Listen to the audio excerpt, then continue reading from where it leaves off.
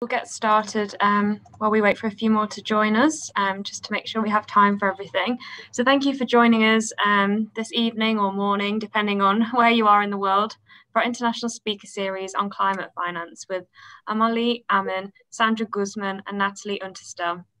Called Charlie Keelingaho.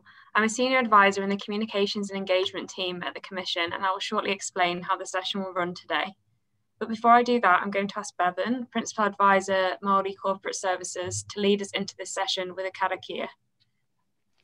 Uh, kia ora tātou. Uh, ngā mihi nui ki a koutou, i runga i te pāka whakāta reo nei, a uh, tēnā koutou katoa. He hōnori tēnei, kua tai mai a Sandra, a Natalie, um, hoki, hoki atu ki a koe a Māli, a tēnā tātou katoa. Anei hi karakia poto, poi poi a te mauri, poi poi a te wairua te tapu, te whenua Papa Tuanuku. For those of us who speak English, that, um, the translation for that karakia is nurture the life force, nurture the spirit, nurture the sacredness, nurture the lands that sustain us, Mother Earth, and a special acknowledgement to our, our guest speakers. Thank you all for coming. Kia ora. Kia ora, Bevan. Kia ora, Bevan. Thank you. Um, before we kick off, for those of you who are familiar with these sessions will be used to this. It would be great if you could please write your name and the organisation or community you represent into the chat box while I'm talking and let us know where you're joining us from in the world.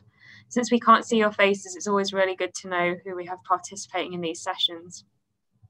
This is the fifth session in our International Speaker Series, and we're very privileged to have our speakers join us today alongside the Chair of our Commission, Dr. Rod Carr, and Deputy Chair Lisa Tumahai, who will both be hosting this session for us today. Rod is the former Vice Chancellor for the University of Canterbury, former Chair of the Reserve Bank of New Zealand, founding Chair of the National Infrastructure Advisory Board, and businessman with a PhD in Insurance and Risk Management. Lisa was Deputy Chairperson of the Interim Climate Change Committee and is a leader within Ngāi Tahu. She has established relationships with iwi and Māori and will help to ensure the broader Commission has a great, greater understanding of Te Ao Māori perspectives. Amal-Lee, Sandra, and Natalie will shortly introduce themselves and share more information on their backgrounds, and this will be followed by a discussion with Rod and Lisa. You will then have the opportunity to ask questions. You should see a Q&A box at the bottom of the screen, where you can type your questions throughout. We might not have chance to cover all questions in the session, but we will try to get to as many as we can. And if you'd like to speak to each other or share your thoughts, please feel free to use the chat it's always good to see your conversations and can be a great space to share your thoughts and any helpful resources. Um, and we are recording this session, so anyone who is unable to make it is able to watch it on our website afterwards. So I'm now going to hand over to our speakers um, and we will get going with the session. Kia ora, everyone.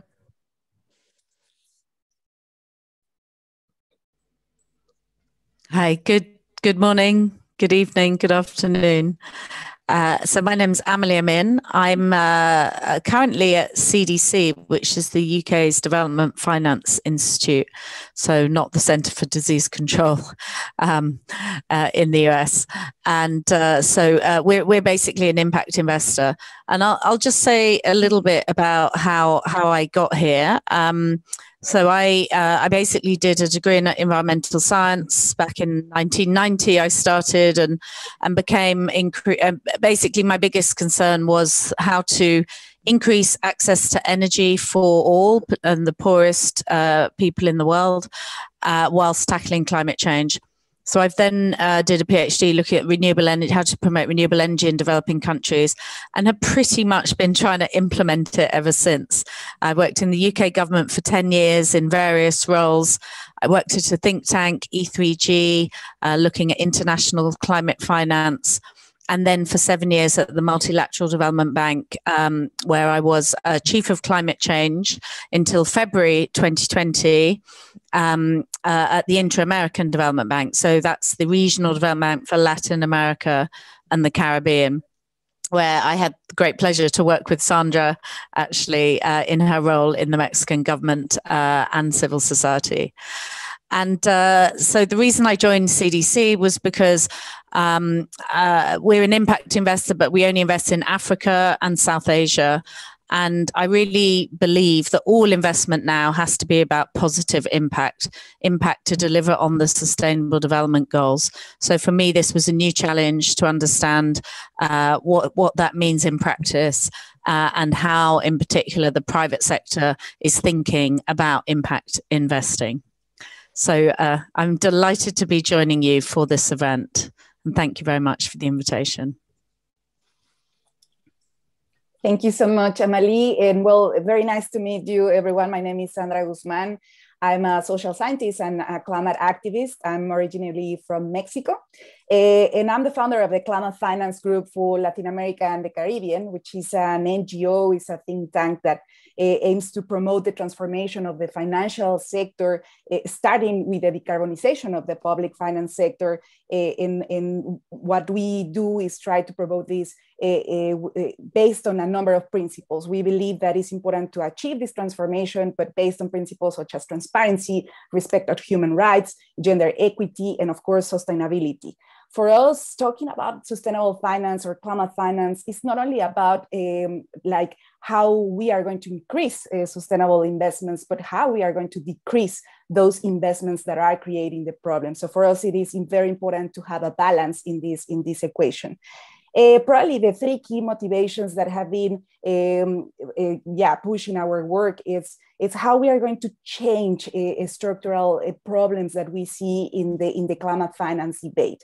So the first problem that we see is that we need to start changing the narrative around climate finance. For many years, we have been talking about the necessity to support the poorest, the vulnerable ones, but in a kind of a condescending approach. And I think we need to change this. We need to start talking about how we are going to invest in transformative approaches, supporting developing countries in really generate new ways to do to do things, how to leapfrog those um, uh, pathways uh, that are really creating the problems, such as extractive uh, activities in, in these countries. And we need to build more trust. But if we do not change this approach, we are not going to create more trust between the different countries.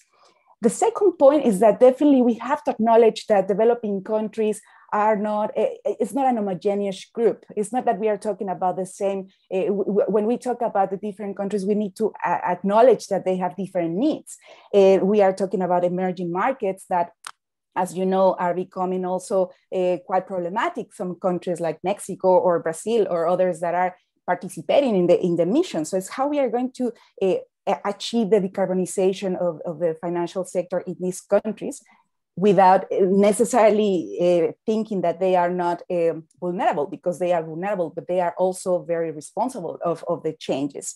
And of course we have uh, least developing countries that need more support to, cre- to create uh, prosperity plans as the vulnerable forums is, is promoting. So we need to start breaking these vicious cycles countries are still, still um, relying a, lot in extractive activities to generate revenue. So we have to transform those approaches to, to invest in better ways to do things.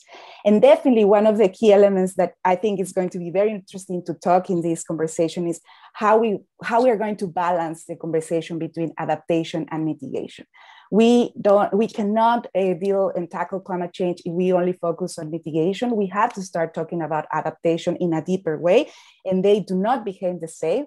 We cannot just deal with adaptation with one project. It's not something that we will change in one year. We have to talk about processes.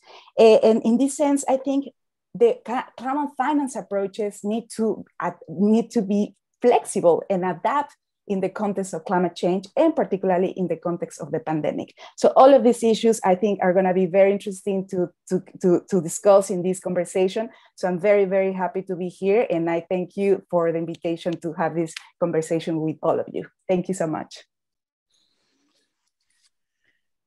Hello, I'm Natalie Unterstell. I come from Brazil. It's lovely to be here with you. Thank you so much for, for this invitation and a little bit about myself. Um, I started my career working uh, with indigenous peoples in the Amazon rainforest in here.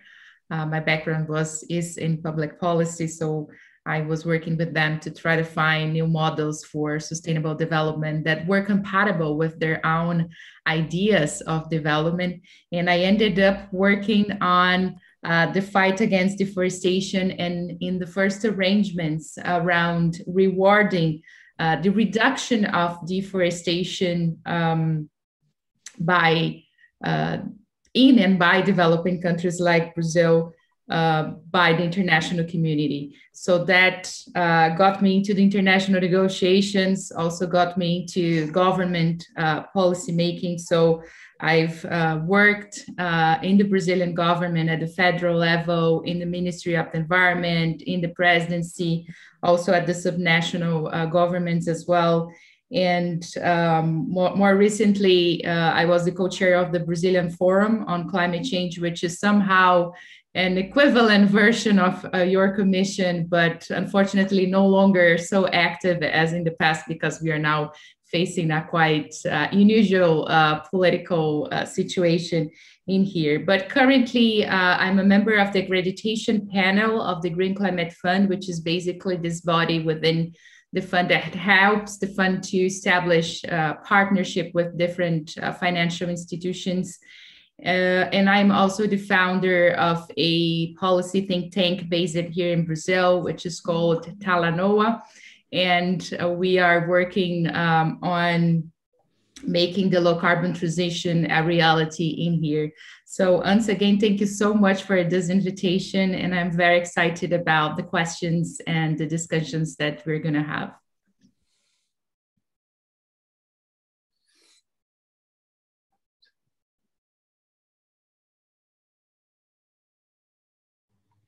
Rod and Lisa, over to, over to you. So kia ora, everybody. Uh, and, at, and at some risk, I'm going to jump in with a question for our panel. But first of all, thank you very much to our panelists. Um, I'm the chair of our Climate Change Commission, and our initial body of work has focused on providing advice to the government on New Zealand's emissions budget and a reduction plan. But when New Zealand signed up for its nationally determined contribution back in 2015, it was always clear that we were going to meet part of our NDC through offshore mitigation. So, one of my questions for, for each of you is how confident are you that during this decade we will develop a range of robust ways of measuring permanent additionality that countries like New Zealand will be able to have confidence when we make transfer payments to help the world because it goes beyond what we believe we alone can do domestically, that we will get verifiable value for those transfers. Is this a definitely will happen or a probably will happen or much work to be done and a real challenge? I'm interested in your perspectives on that question.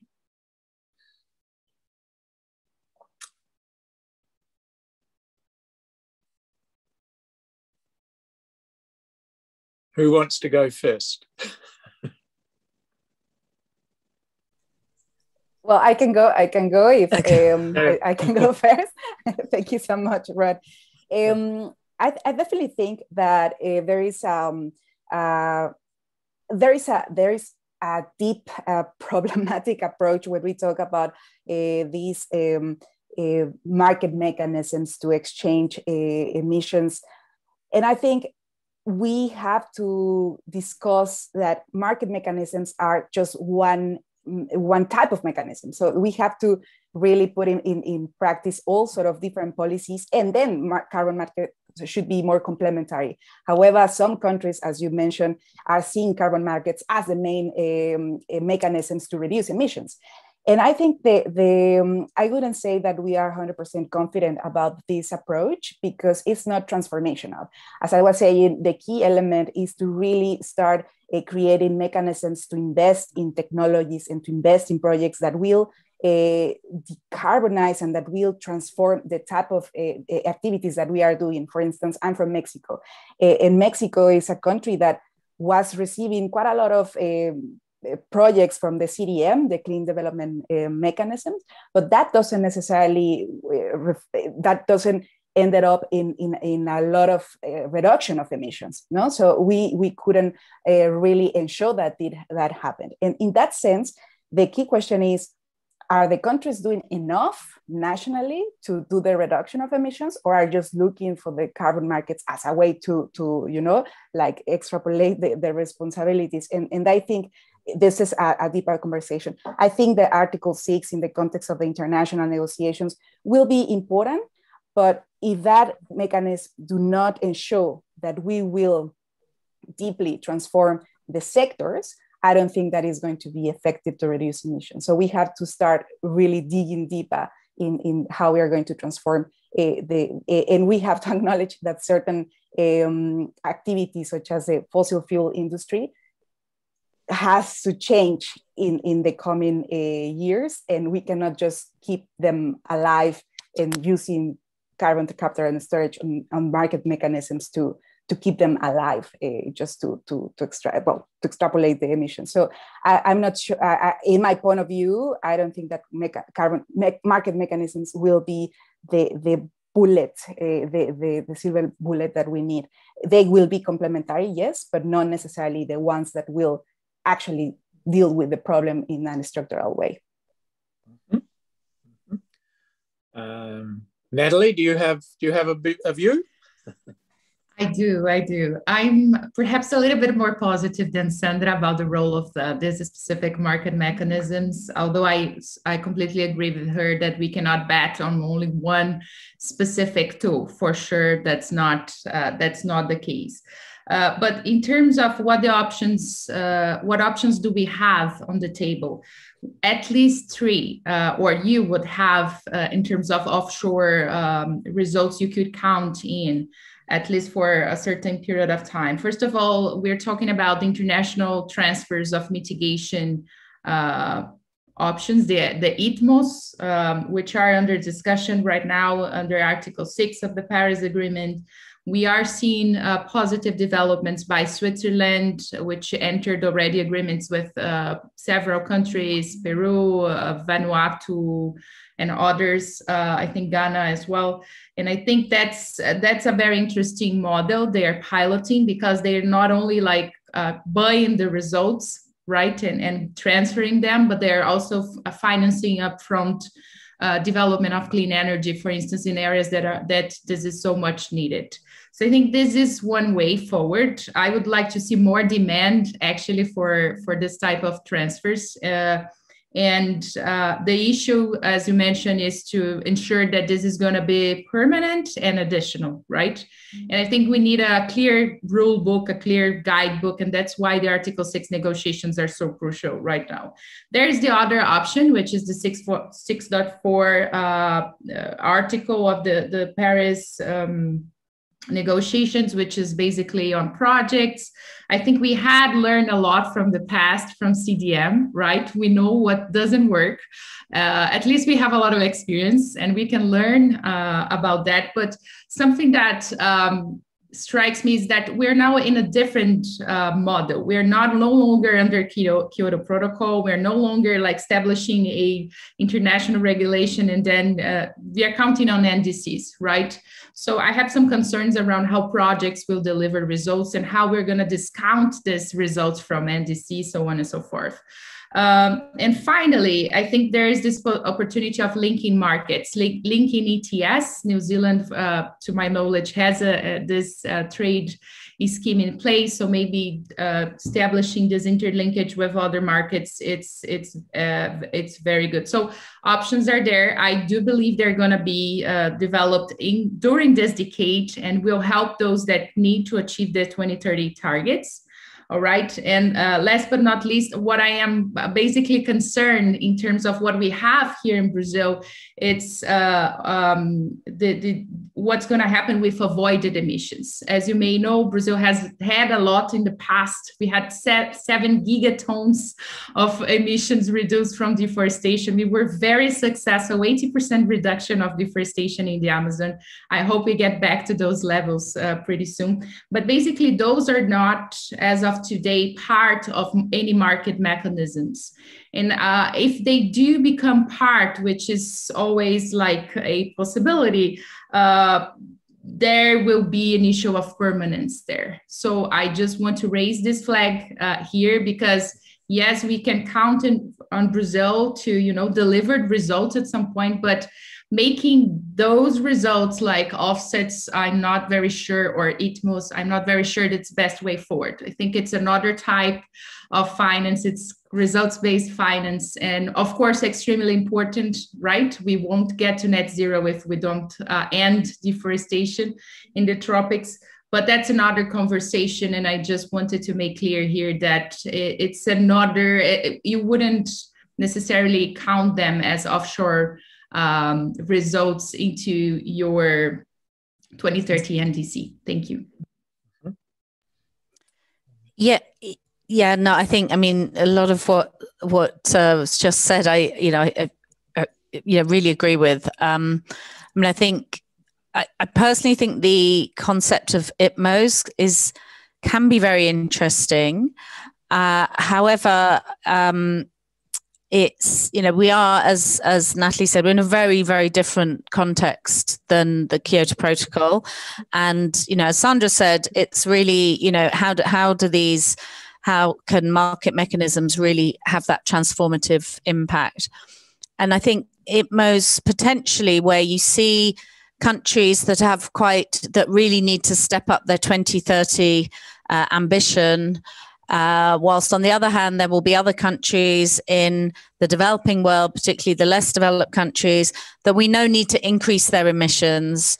Uh, i mean obviously decoupling their emissions from economic growth but uh, in many of the countries we invest in in africa you know they have massive unmet energy demand. I mean they really you know in uh, DRC, where you know, I mean, a small percentage. I think uh, you know, one in ten people don't have. Um, uh, only one in ten people have access to you know a sort of um, modern form of energy service, and so uh, can this upfront, you know, front loading the finance to enable uh, the less developed countries to actually then, you know, really invest more in renewable energy, battery storage that we know is now becoming feasible, but is still very expensive, um, to enable them to have a, you know, de- decarbonized growth path uh, whilst increasing ambition in countries like Switzerland over the shorter period um, to 2020, 2030, I think is actually a really interesting uh, concept. Um, but I do, uh, I do think, um, you know, we have to stop thinking that it's about offsetting. Uh, all countries have to get to net zero. We know that, uh, and all parts of the economy ultimately need to be contributing uh, in in some way. So um, it can't be as simple as purchasing credits from you know from another country it has to be about transformation and about you know being uh, consistent with and delivering that pathway to net zero by 2050 thank you. Uh, lisa your turn.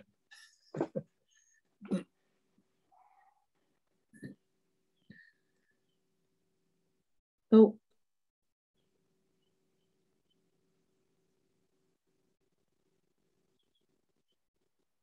Have we got Lisa there?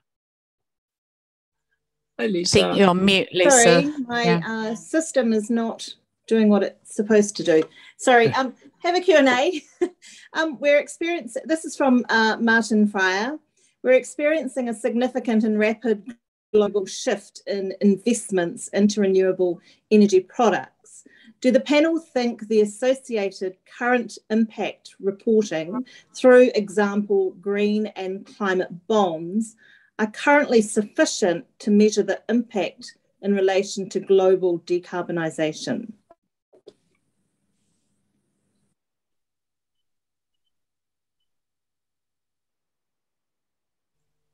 Um, maybe maybe I'll start with that. I mean, I think that that's I think very interesting question. I think what we're seeing now is um, uh, some very good standards around different types of green bonds.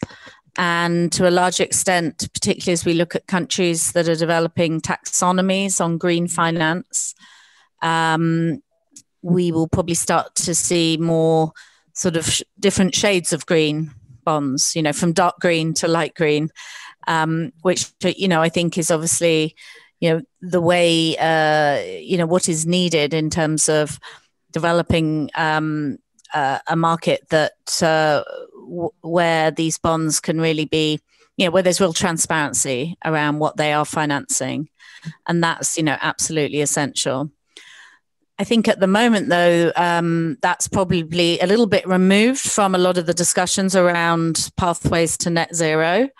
Um, but that has definitely got to be part of the agenda moving forward. Uh, we see, you know, the financial sector making all these commitments to net zero.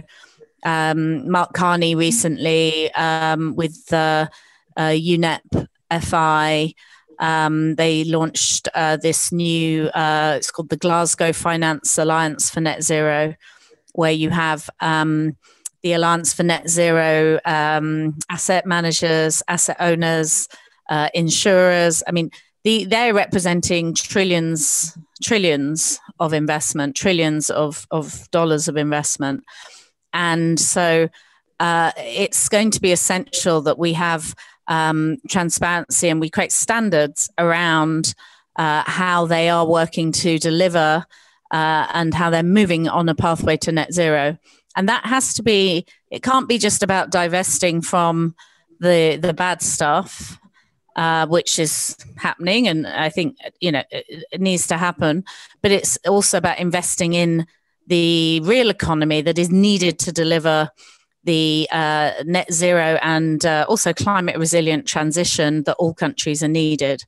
And so I think at some point, uh, probably in you know in the next couple of years, really, there will need to be a much greater focus both on what those pathways are within the financial sector and how then the standards around green bonds, climate bonds are enabling uh, those pathways to be delivered. So I think that's very, uh, yeah, a very key point that has been raised. I think a, a lot more work needs to be done, though, in that respect. Yeah, I, I, would like to comment also uh, in that in that question, and, and I agree with with Amal-Lee's perspective.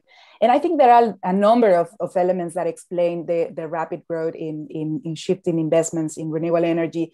And of course, the, the first point is that the demand is increasing and that is is is is creating that the, the prices and the cost of the renewable energy is coming is is declining as well. So it's decreasing.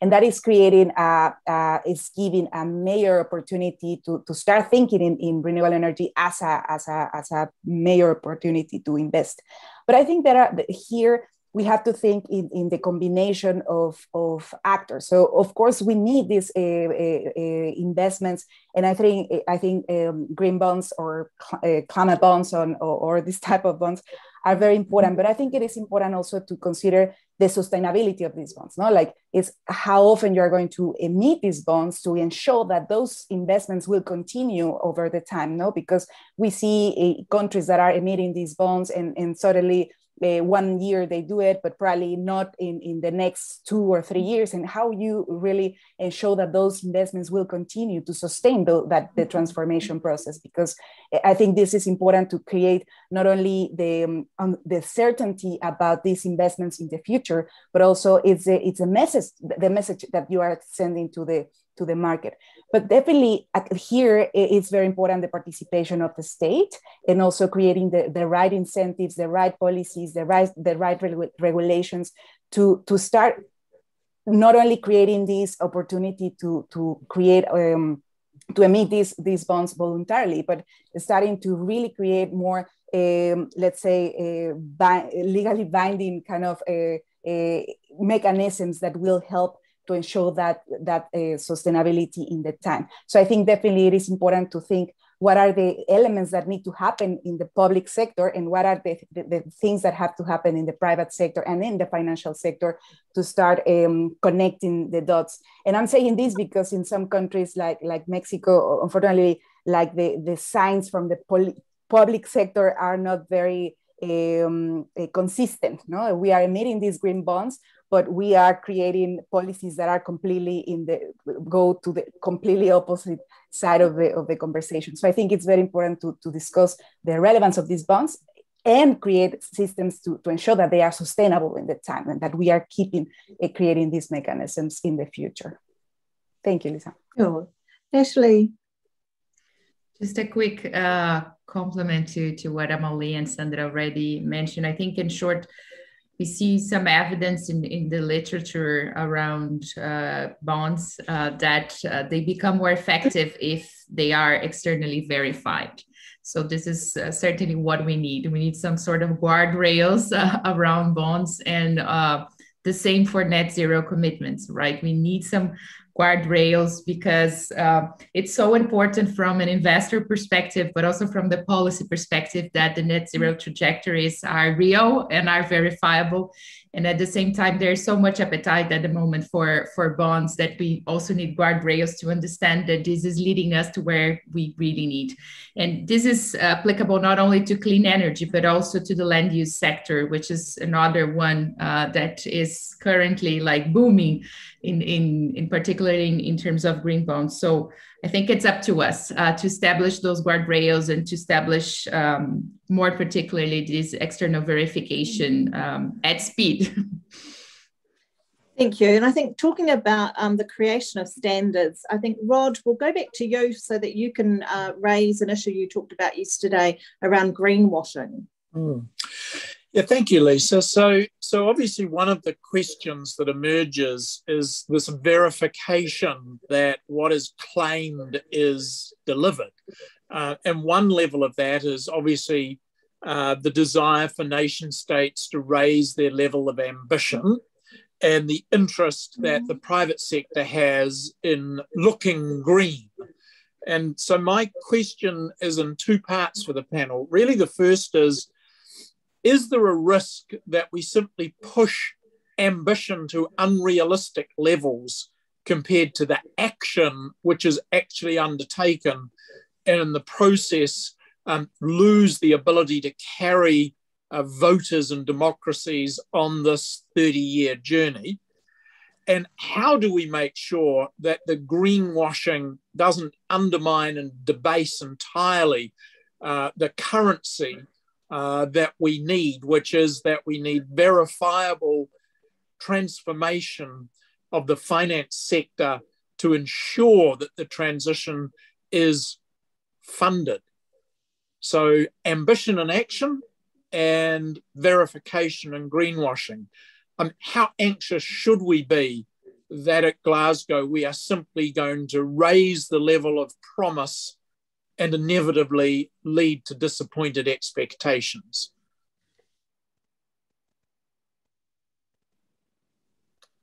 So, why don't we start with Natalie?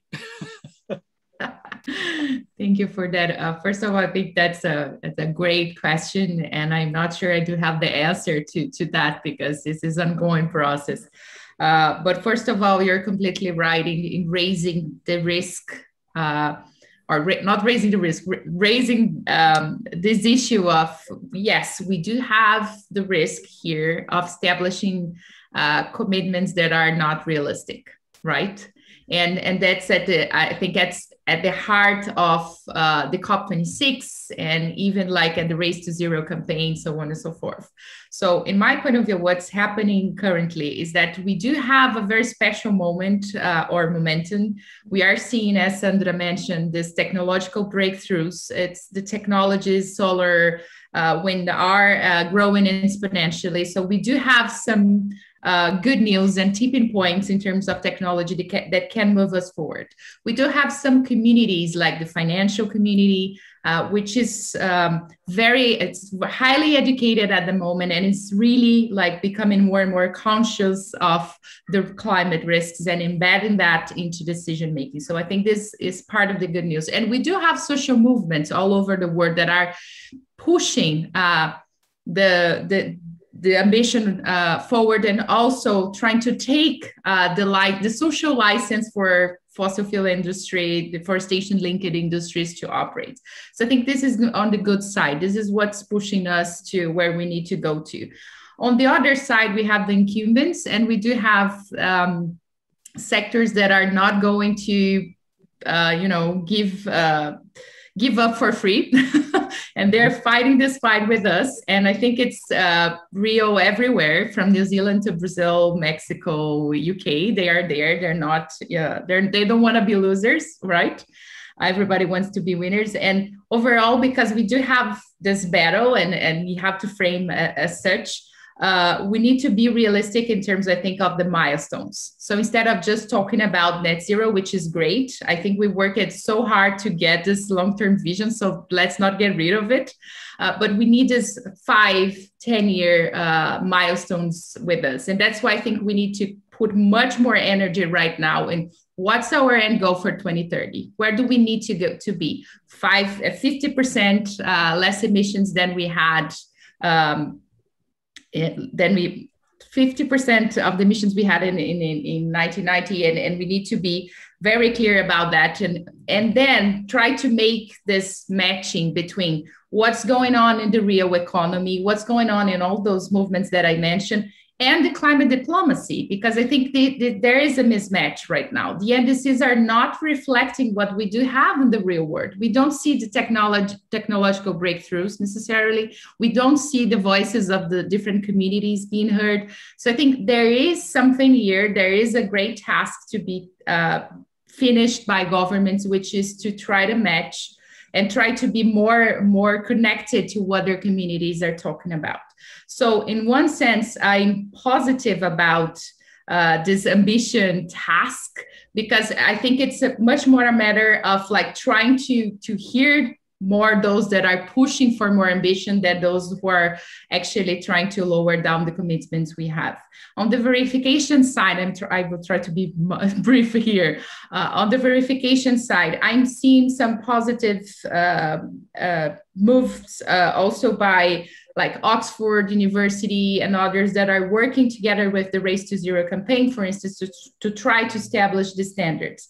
I think that's what we need. Also, like science-based targets. So all of these initiatives, they can help us a lot with what uh, what we need in terms of uh, matching this ambition, but uh, then talking about uh, developing nations, the problem is that this is not yet uh, being translated. This is not yet coming to where we need. So there is much more to be done. Uh, I don't know if that's the situation in New Zealand. We don't have the language barrier necessarily uh, for like Spanish and Portuguese countries uh, have, but I, I do think that we we need to expand this work much further and make it available, make it a reality, a reference point to all countries, all the 195 nations that are um, under the, the, Paris Agreement.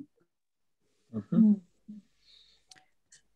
So maybe I'll come in and I might start with the second question first, just because uh, Natalie referred to this uh, some the work that's being led by Oxford University, and actually I'm I'm a member of uh, the finance sector expert group that is actually looking at exactly these issues. So, um, uh, the race to zero has an expert group that looks at corporates and uh, verif- assesses the extent to which their commitments are, um, you know, credible and uh, basically we'll start to look at some verification of those over time.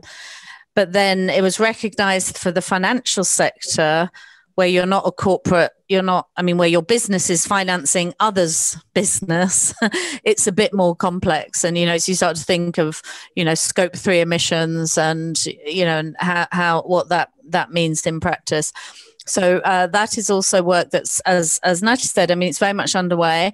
It is quite complex for the financial sector. There aren't many uh, sort of as many methodologies out there. In fact, there's virtually nothing, but uh, the Science Based Target Initiative are actually working on one uh, as we speak. With uh, in fact, this group I'm involved in will be uh, contributing to that. So, absolutely essential and important, and um, work in progress. Um, on the other question, I, you know, I think you're absolutely right. The, you know, you know, we need to avoid sort of setting what may be seen as unrealistic uh, levels ambition. But on the other hand, I think when we look at the net zero by 2050 um, commitment that all parties uh, to the Paris Agreement have signed up to, effectively, as the IPCC has shown, that you know 1.5 degrees uh, basically means net zero by 2050. Um, when we look at that, I mean that's a that's a 30 year sort of time frame.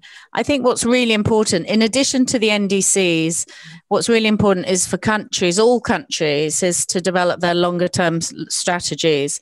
So work out what's the pathway to getting to net zero in 2050 and then work backwards to understand what does that mean for decisions to be made now and i think in doing so it also allows governments to understand where there may be some uh, transition risks, where uh, the issue of a just transition becomes important, i.e., where there may be some risks to certain workers, certain communities, uh, typically as you know, uh, communities that may be heavily reliant on coal production, uh, coal mining, and then coal power production. Um, you know, how to uh, to be able to anticipate uh, the, where that sh- those shifts are, go- are, coming are going to be needed, and then start to work to uh, look at creating other economic activities in those areas. I mean, that's got to be part of of the agenda now. Uh, we know that I think you know climate. Of course, it's a huge environmental challenge, but it's also a massive social and economic challenge. But if we get it right, and if governments uh, can, you know, take on that sort of, you know, see where the long-term pathway or what the long-term vision is, I think there is a responsibility to work with uh, civil society, with citizens, with workers, with you know, with communities to actually put in place those measures that will enable a really uh, you know transition that actually brings benefits to all and really captures what can be many new opportunities for growth, economic growth in terms of new jobs, uh, new sources of of income. So you know, I think yes, uh, it's a challenge, but I think you know that that's really the role of governments is to set that vision and then work with others to deliver on that. I just want to add a very quick, quick, quick point regarding this this thing, and I just think that the net zero targets or whatever we want to call it uh, as goals, we need to set principles as well. Um, so how we're gonna get there and, and what type of mechanisms we'll use to get there. Because uh, sometimes we are uh, misleading the, the, the, conversation. So we are saying, okay, we don't want to keep investing in coal, let's invest in gas because has less emissions. But it's, it's a tricky one because uh, gas at the end of the day is a fossil fuel. And now plenty of countries are saying, okay, let's do fracking because it's a technology that will uh, help us to, to, to do gas instead of coal. So it's like how we're going to set a number of principles to avoid like using technologies that will create more externalities environmental and social externalities that will end up increasing the problem. So I think we have to uh, be very, in that sense, I completely agree with the, the um, external analysis about these targets. And I would close saying that um, in this point, it's very, very important that the private sector that is part of this, uh, all of these alliances are also following and, and working together with the public sector in the, in the achievement of, of, of the targets that the countries are, are establishing. Because now the private sector is going in one side and the public sector is, is going in parallel and they are not working necessarily together to achieve the goals that have the, that the countries are, are establishing at the national level through the NDCs or others. Actually, increasing ambition can be a very good exercise uh, working together, how the private sector will help the public sector to achieve what they established and more, because the NDCs are obviously not enough, right? The, the plenty of studies are telling us that the NDCs are very limited because countries are scared of, of being too ambitious because then they will eh, have a lot of demands from the civil society and, and, and others. So I think it is very important to, to have these rules uh, and these principles and set these principles also eh, in a in non, not only in a voluntary way because we have all these alliances in the run towards COP26 all of them are voluntary right they are just how we're going to establish certain processes that accelerate the, the implementation of these of, of these mechanisms to ensure that this will happen and, uh, and, and not necessarily just because we are all excited about the COP, but actually how they are going to implement them in the in the in the coming uh, years. Thank you. Good segue into the next question, which is from Regan uh, Smithwaite. So I hope I've pronounced that right, Regan. Um, to what extent is climate finance attempting to shift the narrative around climate change and renewable energy? The fossil fuel industry has been telling the world that climate change is not caused by humans, while also encouraging individual action rather than systemic change in policy and industry. How's climate finance going on the offensive to create demand widespread support for transformational systems change?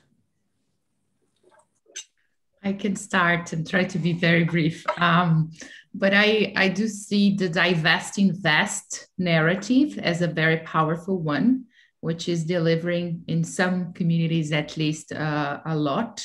So, uh, particularly um, in the US at the moment, uh, we do see that a lot of universities, a lot of um, church based communities, uh, they are divesting, but they are also redirecting those resources to, to clean energy and, and to this new economy, right? And we are not talking about millions nor billions, we're talking about trillions of dollars that are being redirected.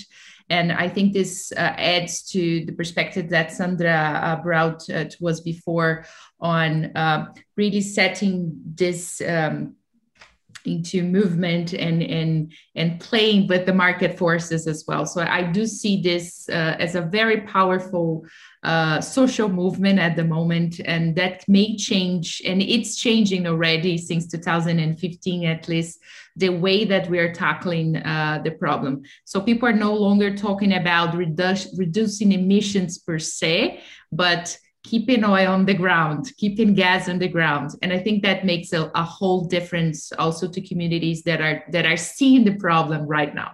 It's not only not only about the atmosphere or something super um, you know like the air it's really about something physical and that we do have the power to make decisions about although um, they're not easy and and they will cost uh, jobs uh, to some but can also open opportunities and jobs uh, in other manners questions are coming in thick and fast now, so I might the other one.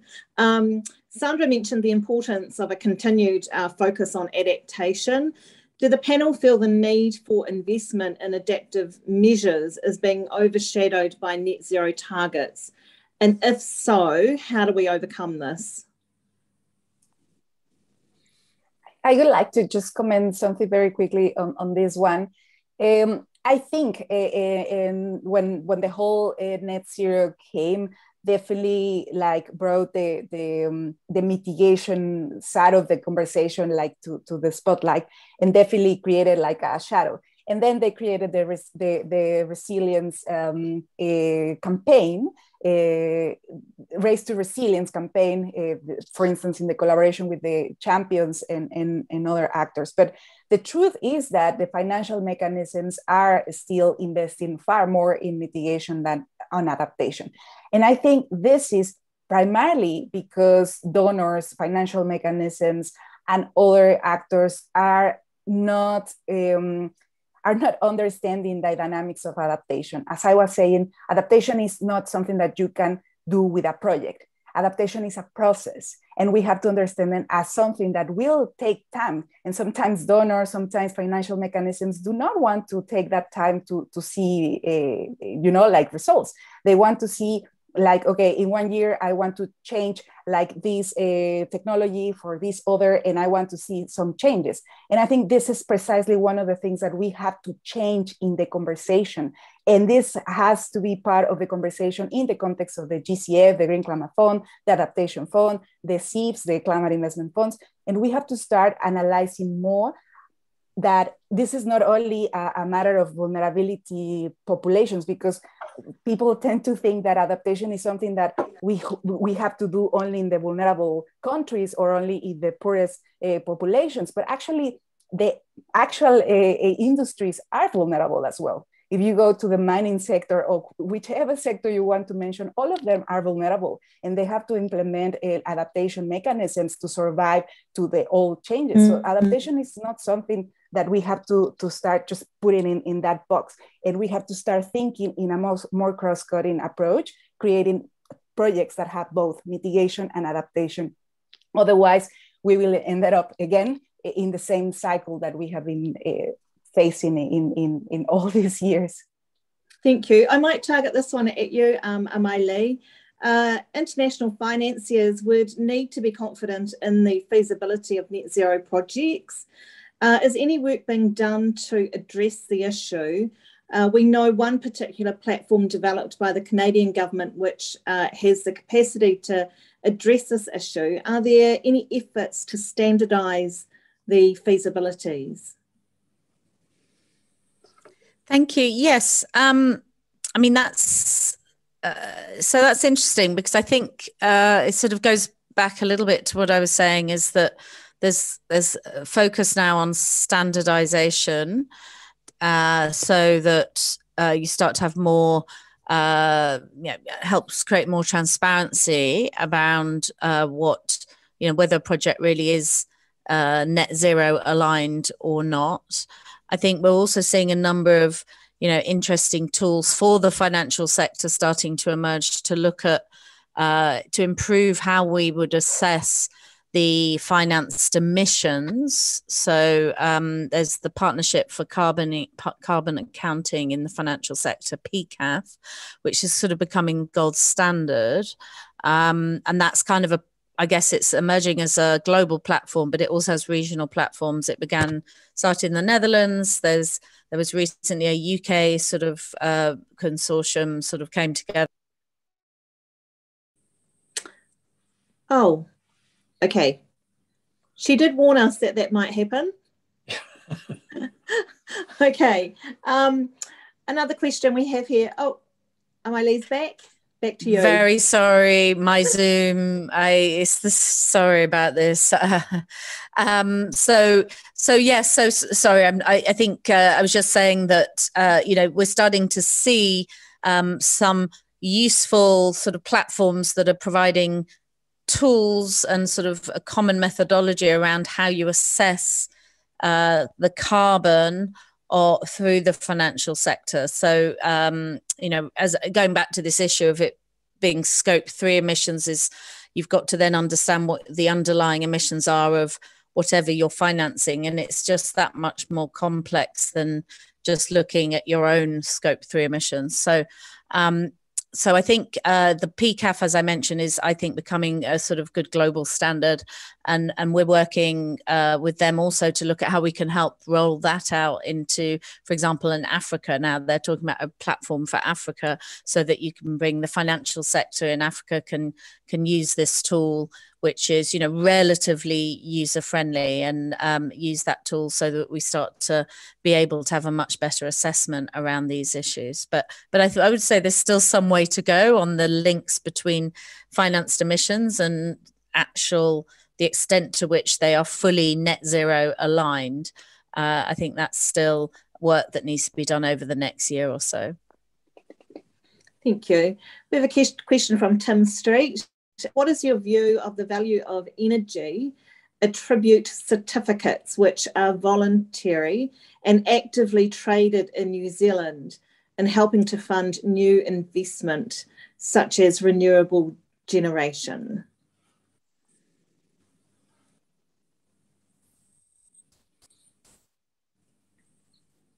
I mean, I'm happy to have a quick go at that. I don't know is is this a particular renewable so it's a renewable trade tradable renewable system that you have in New Zealand already, but it's voluntary. Is that right? To within New Zealand, or is it international? I mean, because I think I think that you know these are interesting in some respects. I think um, you know very much uh, can help bring uh, renewable energy into you know parts of the economy or certain communities or certain countries where you know that it may not be affordable. Um, you can start to have that you know where there isn't necessarily the renewable resources in that particular location. It can be a very good way of um, of uh, you know helping to promote uh, the market renewable energy market i think though uh, going back to this issue of of net zero i think I think that we need to be a little bit careful over um, you know this issue of uh, additionality uh, in terms of contributing towards a net zero target.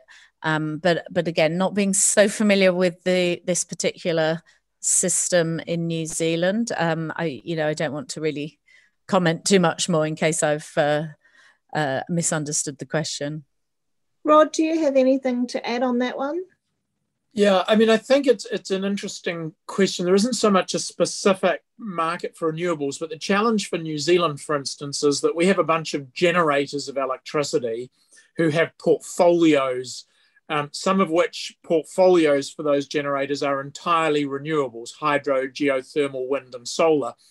And then there are other generators who still have fossil um, technologies in their portfolios uh, predominantly coal and fossil gas. But all of the power is basically pumped into the grid, and then any particular consumer is arguably buying that blended mix of generation when they switch on their lights or turn on their boilers. So while some of the generators like to pitch that they are entirely renewable energy producers and therefore come to us as consumers, um, it's not actually a fair representation of what's going on in the New Zealand electricity market, where essentially the backup in the market is provided by some for the benefit of all. And I think that really goes to one of the hearts of, of when is this greenwashing uh, making everybody feel good about buying something as distinct from the reality, which is somewhere in our system we are burning coal because we have not built enough renewables to meet the demand that we now face because our hydro lakes are empty and one of our natural gas fields is struggling. So, you know, it's sort of like how do you get an informed public debate so that people who want to do the right thing are in fact doing the right thing? And that becomes quite challenging even in a small country let alone in a large complex system such as Europe or North America. Thanks, Rod. Um, could, could one of you share your experiences of Indigenous communities accessing climate finance? I can go first. Maybe Sandra can also talk about it, and. Uh, but here, uh, what has been working, what was working before the situation we are now at, uh, was related to financing um, the plans of Indigenous community. So not projects specifically, but what we call the life plans. So the, the Indigenous peoples have their own ideas of how their development should should be, and how they can sustain and even increase their resilience uh, before uh, climate risks. And so re- financing this through packages. Uh, and we had established a fund here, which was the Amazon Fund, that was precisely to kind of sustain this like long-term plans. I think that was a, a great a great thing and also a great opportunity to learn about how do you match uh, climate finance of course grants in this case with this uh, long-term uh, horizons of planning uh, of them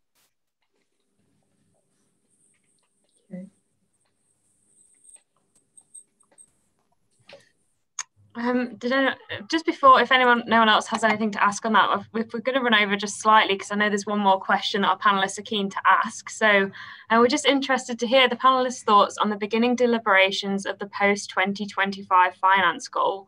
What should be included in such a goal, and what should negotiators be considering?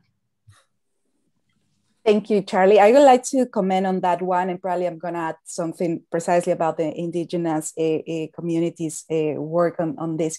First of all, I think the, the, the, major problem that we had with the 100 billions, as you know, is that it's a political uh, number. There is not evidence about why they came with this 100 billion uh, approach in back in 2009. And the massive opportunity that we have now is to have a number that is based on the needs, on the actual needs of developing countries. It is true that developing countries are not necessarily clear about how much do they need to accomplish or to comply with the NDCs. But this is precisely the opportunity that we have. How to eh, ensure that developed countries support developing countries in, in those processes to analyze how much uh, they, they, they need to, to implement mitigation and adaptation actions, not only consulting the central governments, but actually do comprehensive local processes that really come, uh, uh, brings those numbers uh, in, that the developing countries can report through their national communications or the biennial objective reports, all of, all of these mechanisms and how these numbers are going to are going to uh, come to the negotiations to really um, feed the conversation. But I think one key element is that the, the number is not only the number is not what matters, but the actual process to get to that number. If it is only a political number, it's not going to work because it doesn't matter if it is 100, 500, whatever number it is, if they have clear idea of what are those needs, and connect those needs with these numbers and then deliver in, in how the developed countries will deliver those numbers in, in the whatever long-term climate finance plan is. So I think it's very, very important to focus in the process. It's, it's insist, I insist the methodology has to consider not only uh, the, the, how to uh, put the numbers from the top down approach, but particularly from the bottom up approach. And this includes the necessities of those actors, such as indigenous communities, uh, uh, women movements, and a lot of uh, um, stakeholders that are doing a lot of things already. And they need that support to continue those actions. So I think this is the massive opportunity that we have to start thinking in how to put together these, these data from the bottom up and bring those elements to the actual negotiation. Otherwise, we will have another political commitment that won't be uh, will be there, but it's not going to really change anything of the of the reality because it's not going to help us to to really be more effective in terms of, of the climate finance uh, approaches.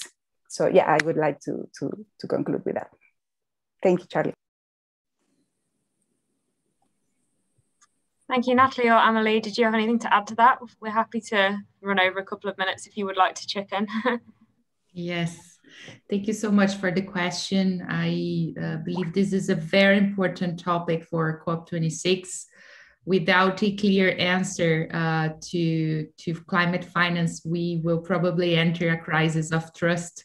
Actually, maybe we are already into it and and that's very problematic to the legitimacy of the the Paris uh, regime as a whole. So this is critical. We need to be very careful. And I think to solve this, I first of all I agree with the points that Sandra brought in. I think we need a clear definition, evidence based. Uh, at the same time, I think we need a better uh, picture of what is public finance and what public finance will be uh, will be uh, directed. There are many countries, many developing nations talking about the 100 billion US uh, dollars as a, as a floor, not a ceiling. So this is another important dimension. And and and last but not least i think predictability. I think more than just the number itself we need to know if there will be future financial flows and we need to be clear on who will be providing. So uh, the sort of mrv or the quantification the verification of climate finance um, from uh, coming from developed countries is also very important to kind of uh, bring more clarity and build more trust also uh, between the different uh, groups. Thank you. Yeah, and yeah, I mean, I'll ju- just add to that because I think you know the hundred billion has been. I mean, it's been a very important part of uh, the negotiations, and as I think Natalie emphasised, then it's also key to trust uh, within the negotiations. But it it was a political construct. I think also, you know, moving forward, in addition to looking at whatever number or goal may be agreed, I think it's also important to think about the quality and also the inclusivity of climate finance.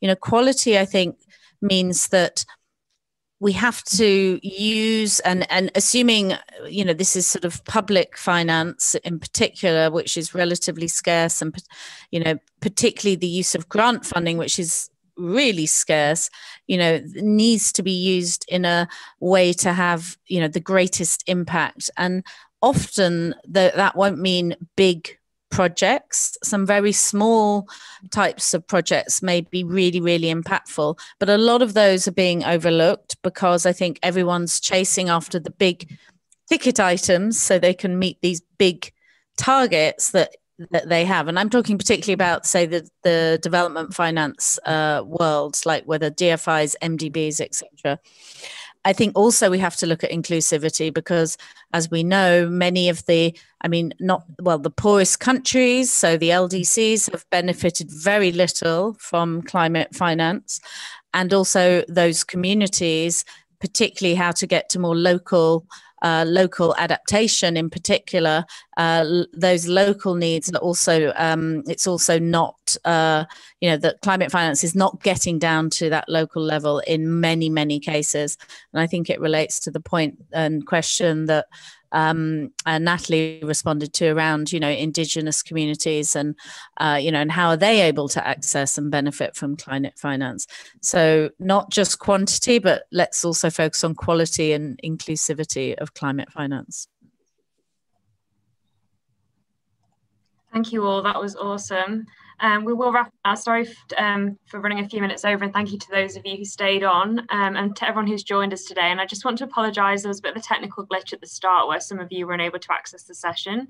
Um, so we tried to jump onto it as soon as we could and send the link out. Um, and then it was fantastic to see so many of you join. Uh, we will send a link to the recording around um, as soon as we can so you can catch any of the start that you did miss. Um, and a huge thank you to Amal-Lee, Sandra, and Natalie for taking the time to join us today. It was so fantastic to hear from you, and we feel really privileged to have had you with us. So thank you. Um, and thanks to Lisa and Rod for leading the session for us. Um, I know Lisa has had to drop off um, for another appointment, so she does send her apologies. Um, but we hope that you enjoy the rest of your day or evening wherever you are. Um, I'm just going to hand over to Sandra to close the session for us with a karakia. Kia ora, Sandra. Kia Charlie. Can you see me?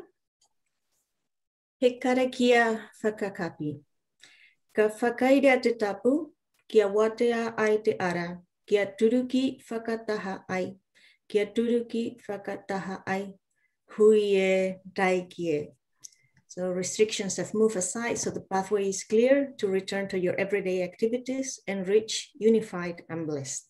Thank you very much. Muchas gracias and thank you to our panel and all attendees.